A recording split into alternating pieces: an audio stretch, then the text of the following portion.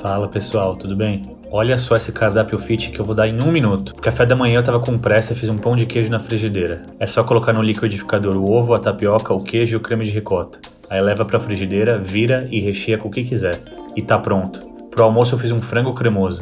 Eu comecei colocando dois peitos de frango na frigideira e temperei com sal e pimenta. Deixei 5 minutos, virei e deixei mais 5 minutos. Aí eu tirei e na mesma panela eu coloquei azeite, alho, leite desnatado e creme de ricota.